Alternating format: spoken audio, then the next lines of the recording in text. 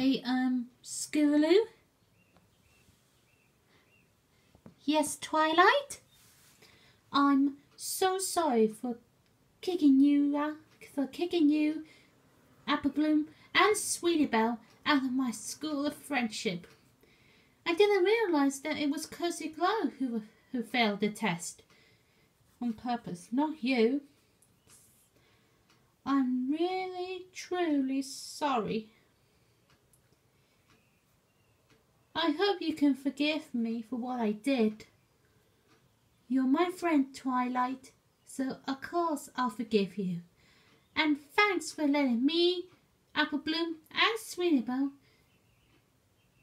to be tutors of your school of friendship. You're welcome, Scootaloo.